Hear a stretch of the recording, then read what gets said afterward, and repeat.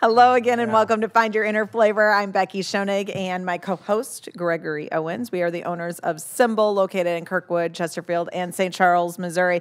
We have got this is podcast number three. We record these three at a time on Sundays up here at the Gaslight, and we're in our episode number three. So we're already kind of in the flow of So things. we'd like to say we saved the best for last, Yeah. but really somebody canceled, so we drunk blood. we we saw this guy sitting out there in the bar. We said, "Come, come on on." in."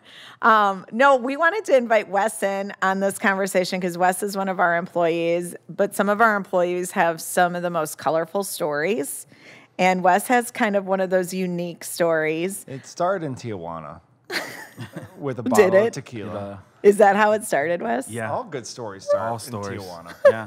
Apparently they do. No, but we didn't actually know everything about you when you came to work for us, except for we knew you had a kidney transplant. Mm-hmm.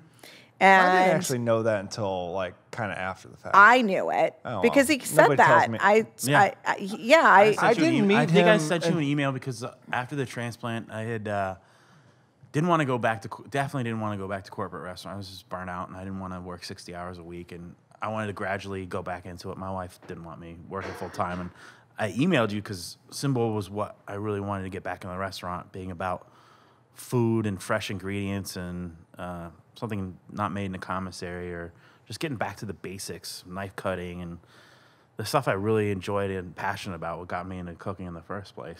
I remember getting your email, and we were struggling finding somebody to go work in the Chesterfield location because of where it's at. I mean, you don't get a lot of.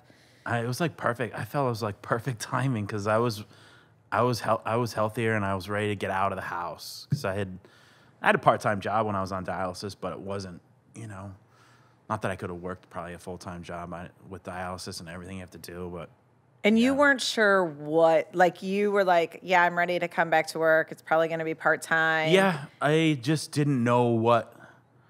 Because you hadn't worked in how long? Um, I stopped probably a week before I went on dialysis, so I worked up until June of 2017 is when I stopped. I had gotten it was a week before surgery when they put in a PD catheter. So after when I saw exactly what a PD catheter was, and I just decided I was like, I'm not gonna work on, uh, uh, I'm not gonna work on in a salary kitchen anymore with a cord like a, it's probably about 18 inches, I'd say that comes out of your peritoneal cavity, and you have to. It's an open wound, and I just was like, I need something a little bit more uh, streamlined. So I, I got a part time job at FYE, but that was that was it was fun. It wasn't. It was definitely different from when I working 60 hours a week. Yeah, it was probably just something to kind of keep your mind off. Oh yeah, and sit and chill, busy talk about movies and music all day and get paid. It was great. Kept my mind off of some things, you know. Kind of look forward to going to work, not having to stress out about anything. It was very laid back and great. So let's backtrack because you've worked in the industry for how long? I mean, I started when I was 15 as a dishwasher, so I've been around for a long time. So you're institutionalized. Yeah, Yeah. It's Yeah. really all you. It's what you know. yeah. Culinary school, no culinary school. Culinary school, I got. Oh, uh, he paid. He paid the big bucks. I didn't pay the big bucks. Uh, did my did uh, freshman my uh, freshman year of college and uh, senior year of high school at the same time. They had a program at Johnson and Wales. It was called I forget what it was called, the Access Program, and he only had to take a couple extra courses. And I knew in high school. pay school. the big bucks. Yeah, he's a Johnson and Wales boy. He's one. Of, he's one of them. Now it makes sense. Yeah, the Now prep, I- the, the Columbia, the turned up collar. Uh huh. I got this at Goodwill for eight dollars the other way. Oh, really? in Greg, Greg got his jacket at Goodwill for what, twelve dollars? No, no, no, This no, is no, no, eight- no. this was no, $6, no. I think. Jackets, I think, are six fifty. Dang. I got two sugar in the raw packets stuck in the That's a bonus. They didn't know So about those. you came from the industry, Mm-hmm. corporate and non-corporate, or all pretty much corporate? Mostly corporate. I had uh, a little experience with some non-corporate, but um, mostly corporate. Um, I started off as a dishwasher, worked my way up to prep cook, and started um, like a broiler. And um, then I went to school, uh, got my associate degree in culinary arts and bachelor in food service management at Johnson and Wales. I loved living in Providence. That was a great time. Providence is a great town. It's full of college students. Okay, all and- right, all right. It's not a commercial for Providence. Come on, this is for I simple. like it. then uh, after living up there, the Northeast is just really it's beautiful, but it's expensive. Uh, decided to move to the Midwest um, probably about 14, almost 14 years ago, and uh, met my wife. So Um, okay, so you had no. Did you have family here? I did. My parents had gotten divorced, and uh, I had visited the Midwest a lot when I was a child, and um, I loved it because it's so laid back and it's. a That's lot- so funny because Yeah. so many people that live here go, "How do I get out of here?" Or No why way. the fuck would you move here? No way, not me. I was There definitely is a growing up outside of New York City. Kind of appreciate the finer things in life, and like you know, you go through a toll booth in Chicago. It's totally different than one in St. Louis. I mean, in New New York City. So. It's uh, it's very more relaxed. People have more family values. Um, there's so much diversity here than there was in. So you met County, your you met your Yeah. wife here. She, she did. I remember to this day where I first saw her, met her. Bet you do. Yeah, I do. Uh, oh, this sounds so romantical right now. I'm we had our first date at Ameristar Feel like we should Casino. have- Oh, right on. Over a Yeah, buffet? now we're Yeah. Was this a All you can buffet? No, it wasn't a buffet. We didn't go for the buffet. We went. We just went to have drinks, and I was like, I'll just play. I don't know how to be a gambler, but I do like people watching. I do like the slots. So we, she picked the machine. I put twenty dollars in. We won hundred. I won one hundred eighty bucks. So Right there, you knew it. was She nice. was lucky. absolutely, She was lucky Oh, right she there. She turned me down a bunch of times. Yeah, yeah. Well, sorry. Yeah. but So- uh, no, it's just we took things slow. It was like one of the first relationships that I took really slow because I really liked her a lot, and it was the first girl who I had met Start crying. This is a romance story, who really right? had her own.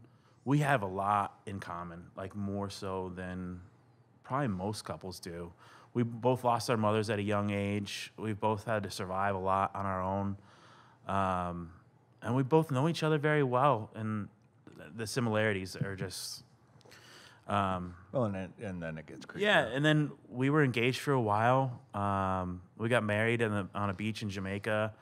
Uh, we eloped, and Oh, it was the God, Are you greatest. trying to make everybody? I got. like, I even seriously. got, you even got engaged on bad? a gondola in Venice. Oh Jesus! Yeah. You know, I. What you know what fuck? I love. You know what I love. this? This is what I love. Yeah, one, what jackass. one, one.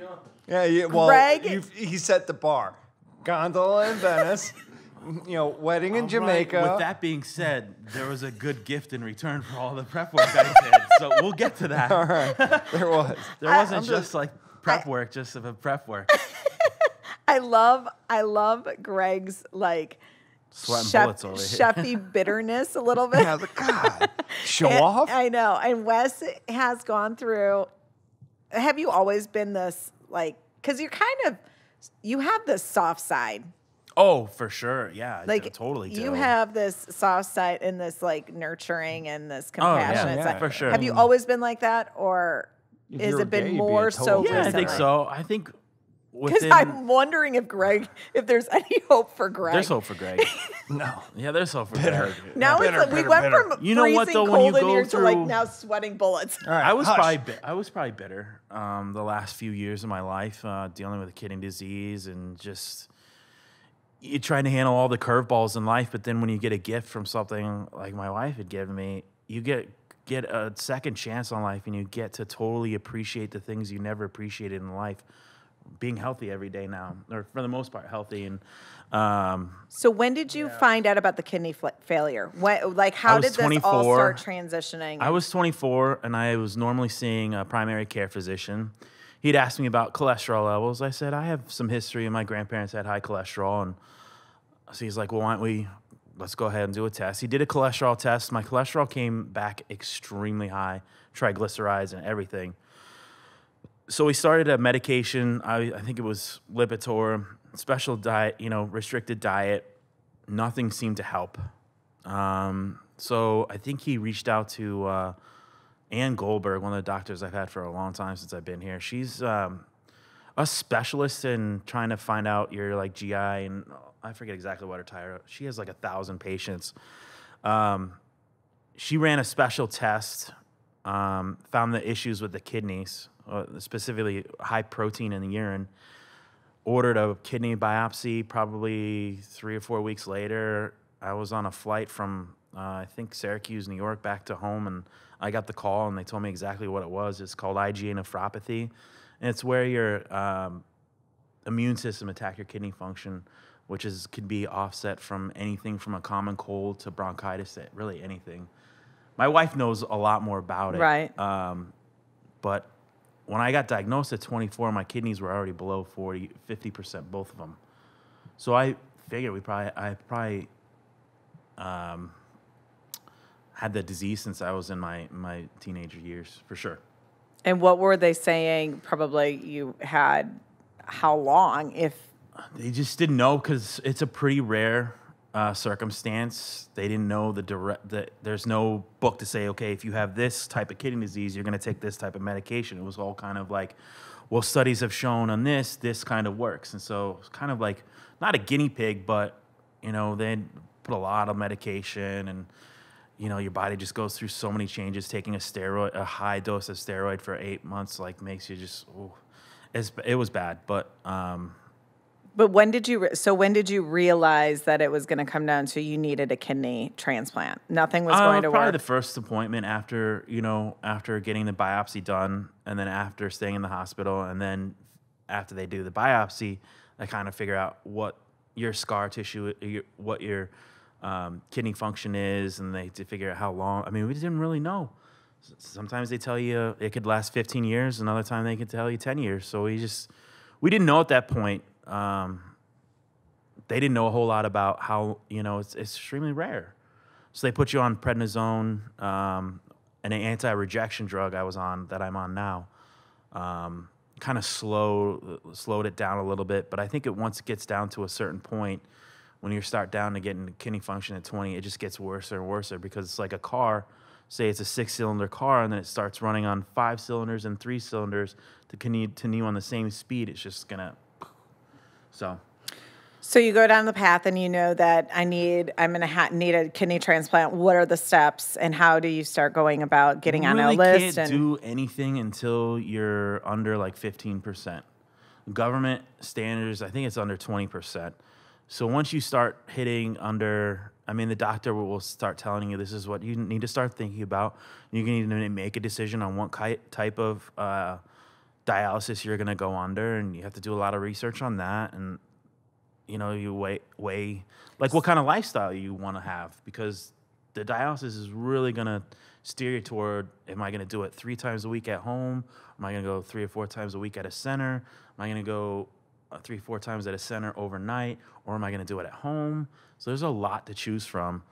Um, and then you just, I mean, at that point, probably uh, could have taken more positive approach on it, but it was just, it's, you were pissed and bitter. no, I wasn't pissed. It wasn't. It's just it's frustrating not having any family signs of kidney failure history whatsoever. So you kind of like, where did this come from? So then you start thinking about choices and non-GMO and talking about organic foods where you can, and start really thinking about what you're putting into your body, whether you know from food to every for everything. Um, my wife was probably more. Uh, you know, towards talking about non-GMO and organic stuff before I was. But then when you get sick, you start thinking about things and what could have triggered this? What could I have done? But then it's like, what am I going to do going forward? So you have to make a lot of decisions. And she wound up being your match.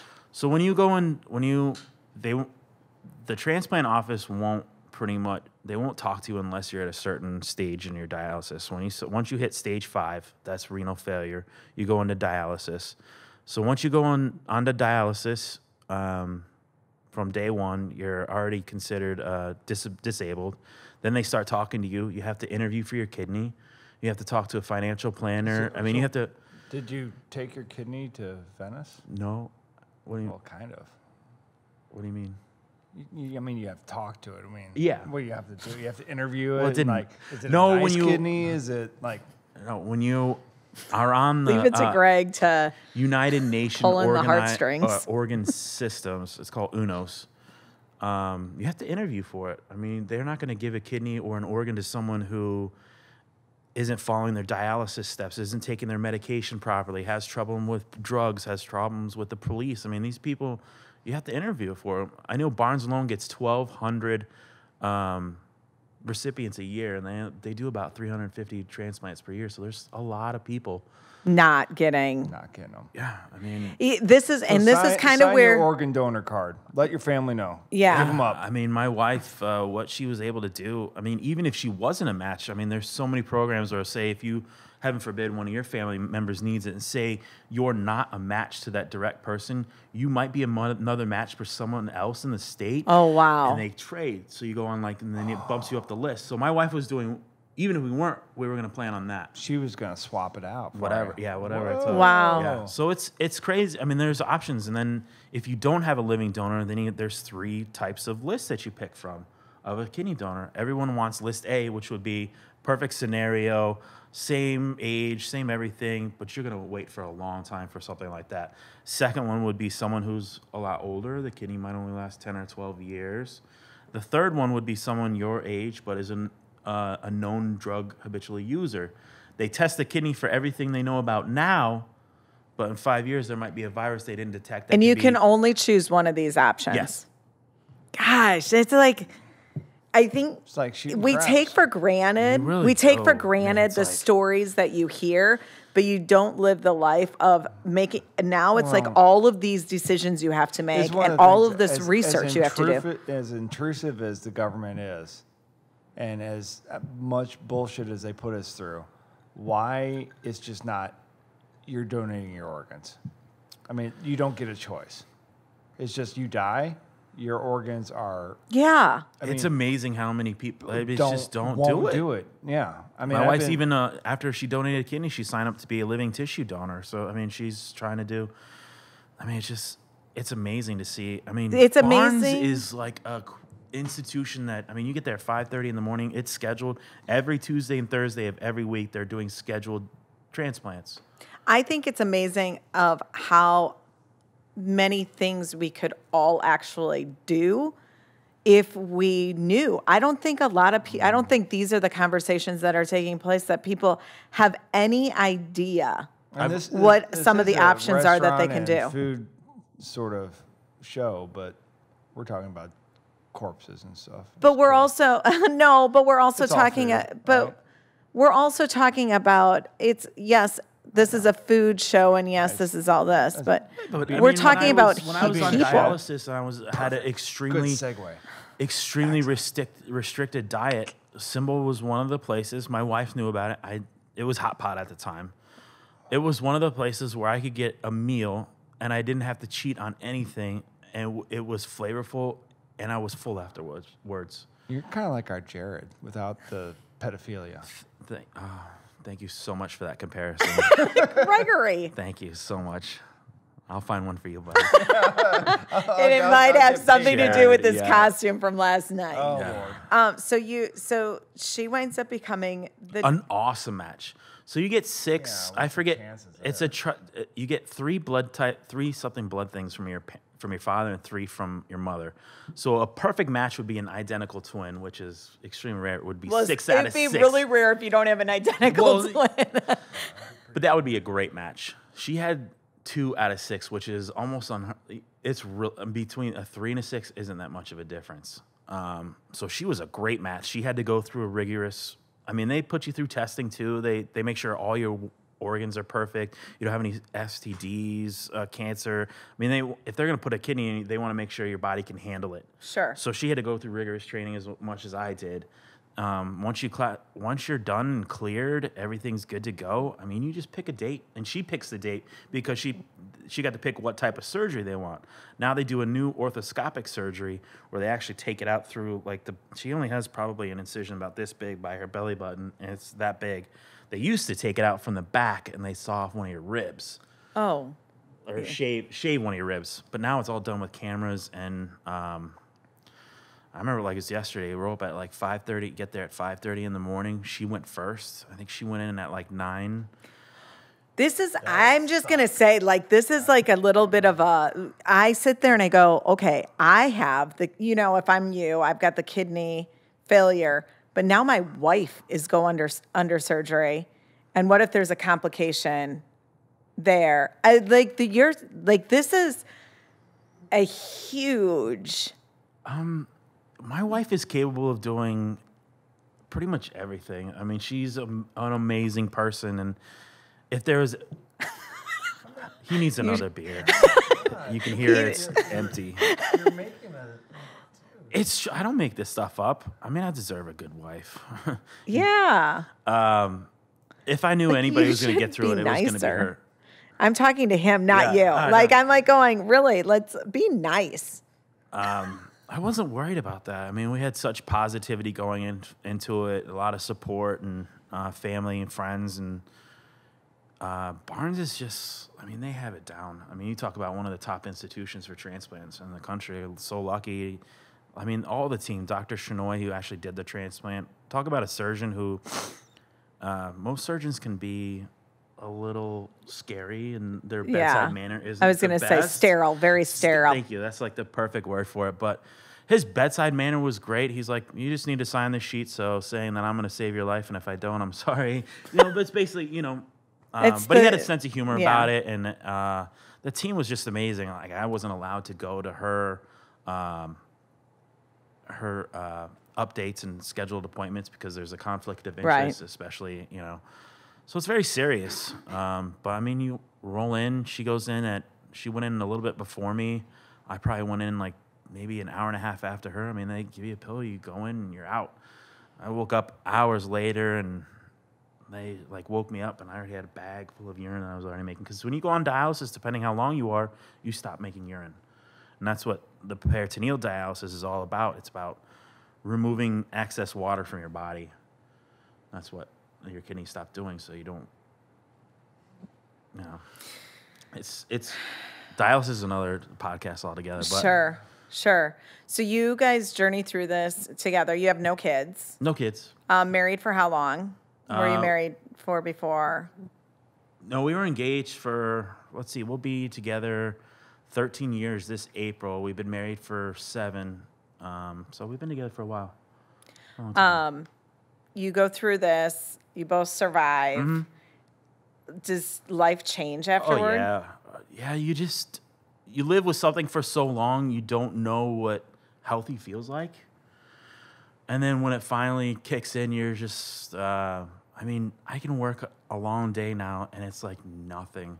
Before I would I'd have to sit down for 20 minutes and take a break before I was working. Now it's just like it's so easy and you just appreciate you end up appreciating the smaller things in life and um you know, we've decided to have children. That was up in the air for a long time because you know, it can't You don't like really- kids? Well, No, one. it's not. I've grown you, to like kids. You don't like kids. Borrow mine for a while, and Still like might. irresponsible. I think I've learned it's not the kids; it's the irresponsible parents that are out there. Um, but no, I didn't know where the kidney disease was going to take us, and now that um, we've put that behind us, I won't have to worry any, for anything for at least another twenty years. You know, it's a we had a, a good kidney, and I actually got pictures to see it too. It's pretty cool. um, but now uh, I spent some time with my best friend in up in in New York, and um, spending time with him and seeing what I was missing, going to baseball games and enjoying the New York State Fair with kids and stuff like that. You know, I was like, wow, I really am missing out. And he's a good father, and uh, I really enjoyed seeing that. And I think my wife and I would make really good parents. So we, we in the next couple years, she got accepted to Goldfarb, uh, which is a nursing school at Barnes, and she was really fascinated with everything with dialysis. So she wants to be a nurse now. So she's taking all her prerequisites and studying extremely hard and taking those to get them out of the way. And I think she's gonna run with this. And She's like so excited and That's awesome. because she got her degree in art history and St. Louis's art scene is. Let's just say you have to have a PhD to be someone's assistant, and so. Yeah. But she's still a docent at SLAM at St. Louis Art Museum, which she likes to give public tours, and she's still part of that. So it's very good. So let's round circle this because one, one, you're an employee of ours, Yes. but you have just this interesting and this unique story behind you. And that's why we wanted to to bring you on and kind of talk about it. One, I think it's important people understand what this is and maybe there are ways for them to help, but then it's also a once you go through all this, life goes back to normal. You have bills It to really pay does. you have bills to pay, you have a life to live. Um, how you choose to do it differently or whatever it is, but you chose to come back into the in- industry. Did. I did. Um, well, like I said, I was familiar with what Hot Pot was, and um, I I couldn't go back to the corporate scene. I just I didn't want to work there somewhere where I wasn't going to continue to learn anything. I'm still young. I have a lot to learn about the industry, and I like to I like to learn new things every day. And uh, coming to SymBowl was probably one of the best decisions I've made since the transplant, and uh, I enjoy learning things from Greg and Becky. And um, Are you What? gonna? Did Greg? no, it's you don't understand. Matt's shocked. I wish there was a camera on me. No, I'm good. and another beer. I might need another beer. beer. Yeah, I might need another beer. I'm actually gonna walk around. Yeah, I might, might need Like, another This beer. is a crying situation. Here's, a heads up. Here's my phone. It'll take a timer. You're good. Grab me a beer too while you're at doesn't. What- what I'll do the same like? thing. A citywide pills. Yeah. All right, I'll be Because right back. we're because the I mean, I think that that's one of we're we struggle. Greg and I, as business owners and creating SymBowl, we struggle as to how to share and tell our story because we don't like putting our egos out there. I guess you can say we don't like um, talking about ourselves necessarily. kiss ass. Yeah, we don't like Either kissing do ass. I. Yeah, we don't like. I the think your ass. performance should justify itself. Um, I, I mean, I'm not really crying, but it is. I mean, it's it's no different than seeing um, Emily, who you never knew, was a young employee. Oh, yeah. Didn't cook for, had never cooked, was self-taught, would like religiously self-teach herself, and But she was horrible interview. oh my horrible. She had very absolutely terrible. Yeah. she she has uh, well High whatever. anxi- she had high anxiety. issues. I mean, this was her. Don't touch me. yeah. you know, it's like how the fuck are you going to work somewhere where you you can't stand someone being a foot next to you? I mean, how are you going to do that? But at the time, we had nothing to lose because we needed somebody. So we're like, let's just bring her And on. she's a fucking rock She was a star. Hmm. rock star. Like she was. Very intuitive. Just She just got got, it. stuff. it was like you. Yeah. You, she just got it from little training, and she started home studying and doing all this stuff. She, I would say something to her. She had no fucking clue, so she would go home and look it up. yeah, I'd say you need to do this, but it's kind of like this, this, or this, and she would just go and look it up. But so she I never really kn- knew that she didn't know Hmm. because she hid it, and then she would just go and find out. but she was a great story and an example because we um, she outgrew us. she outgrew us. And we knew she was outgrowing us because she just didn't seem happy. There was some struggles going on. And we finally sat down and said okay what do you want to do? Like what do you want to do? And she's like i, I want more experience. I want more i want to go into more fine dining. And we reached out to Olive and Oak that had just opened up in Webster Groves. We knew them and knew that they were hiring. And we we reached out to them and said we've got this We got young somebody for you." we've got somebody. We think she's got skills, and would you be interested? They pulled her in for an interview, hired her, and she's still there. And I think I- she loves it right I now. can't. I yeah, and I don't know, but I can't but imagine she's got to be a rock star for him. I Oh. would, I would. Sh- I'd be I'm shocked if she Yeah. wasn't. Yeah, She, she probably won't put herself out there enough to get the progression that she needs, right. and hopefully they're seeing that in her. But the, but, that's then a- you're yeah. I mean, That's and the stories that. Well, you were in corporate. It's a fucking shit mess. Corporate's uh, destroying America. I mean, you look at all the corporate restaurants can't survive now without giving away half a meal or Yeah. it's just And still- and still the food treating empl- quality's gone down. Still It's- treating employees like crap too. oh, It, it's like the CEO everything brings is- home a billion dollars a year, but they can't pay you know pay their employ- employees properly. But you know, SymBowl is something that's completely opposite of that. I think you guys are doing something that no one else is doing, and uh, it's not like you're trying to be someone who you're not. Which I've worked with a lot of people who are just fake and just there to collect a paycheck. Mm. You guys put your sweat, your blood, and your tears into a business, and that's what it takes these days to kind of, unless you're a corporate, unless you have a, a huge bank account and Yeah, just willing to fund yeah, unless you're a trust fund with a Although restaurant if there that can is anyone with an equity fund out there, we would gladly We'd be absorb happy it. to Yeah. take accept some donations in all forms. Yeah. Mm-hmm. come with gifts. Oh, and this thank this is this is podcast Thanks. Material here. Yeah. Producer goes Oh my God. I feel like a I, this was like a celebrity moment No, for a it, second. but it is it is very enriching and rewarding or whatever to know that you know someone like you not only were able to I, it, I, I love the fact that you wanted to come work for us that's amazing um, but it's almost that you were able to come eat what we do Oh well, I wouldn't. we, well, but that's I mean that's such a huge part of of what we are and the whole your friends and family eat together. It is amazing to me still how difficult it is for chefs or businesses. And this is not like being modest or whatever, but what we do isn't difficult. No, it's not. It's not like we're trying to recreate the wheel or do anything that But it's but it's like that's difficult. just simple simple changes and you can just totally open yourself up to this huge Untapped everyone market. yeah Oh, for i mean But I also th- I love eh, one of the things that I love is when we find these key employees like yourself, um, like so many of the other ones. They care so much about the business that when somebody comes in, when we hire somebody who intuitively you start picking up on, going, yeah, this is not this is not the right fit.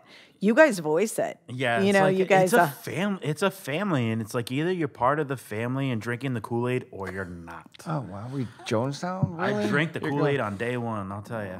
yeah, well i mean it's well it can be cool because technically they used flavor aid Oh, okay. yeah they didn't actually it was like generic But we were you you you were kind of taking a risk saying, "Okay, I want to put myself back out there. I'm ready to I, I'm My ready wife to Was like, um, she didn't want me going back in the restaurant industry. So where is she at now? Like what is she, what's her vibe and her take? You you Oh, she loves that I'm happy. Like it's been a long time where I can come home and not like want to have a few cocktails just to relax and have a decent because conversation. you've had a couple hams at, That's not well. But anyway, it's it's different coming home. It's like, uh, well, how can I make tomorrow at work better? It's it's totally different aspect on on going to work. It's just like, how am I going to get through tomorrow? You know, previously versus how am I going to make tomorrow? How am I going to make work to better tomorrow? And it's and I you know I, I enjoy doing everything that I do for SymBowl. It's nice to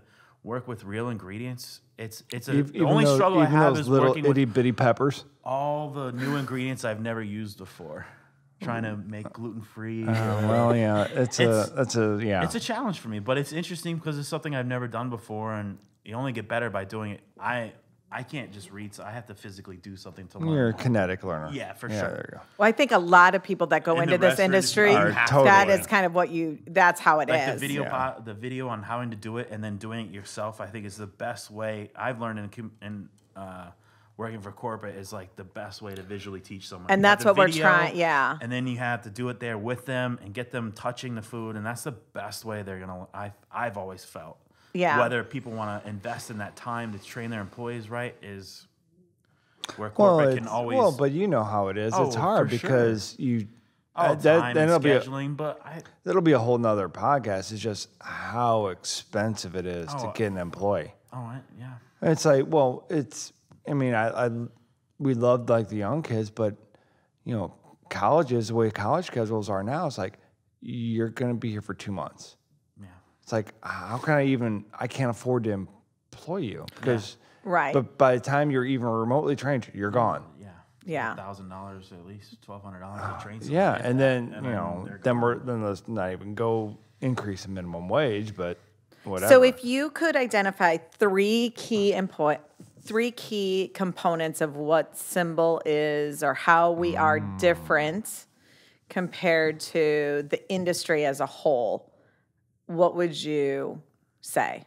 Well, it's different because your main source is not money, which would be on the top of every corporate restaurants. Like, obviously, you want to make money, but it's yeah, not. figure out well, how to- yeah, obviously, you want to make that's money part in of the what we're industry, doing I was but you don't make you don't make stupid decisions to shortchange the guest or oh. sacrifice your brand, which is what most corporate companies do now with heavy discounting or cutting cutting corners on stupid things. Well, well, like we had earlier, chicken. You know. Oh well, for sure.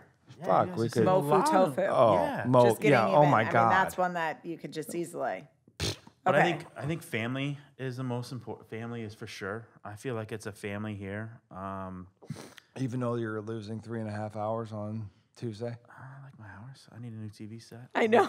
We Oh, said we're closing over early on on Yeah, Halloween. So all yeah, this is gonna and be West out. goes, you mean I'm getting cut 3.5 hours that night? Yeah, all you people that aren't here, you're welcome. Trick or treat.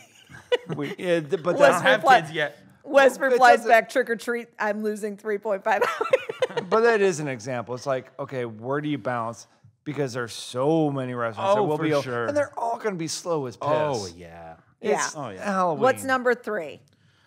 Um, for sure, I think it's uh, the freshness of the concept, using fresh ingredients, sourcing out the best possible can. I mean, and you do it well with um, balancing act. I mean, like you said before, you could source out organic every almost. That, I mean, not everything, but you could source out organic fruit and use it for smoothies. But it's gonna cost you an arm and a leg, and so it's It's Um, the balance. it really is. Um, I think too is edu- well, not that, but educating the customer when they come in is like a.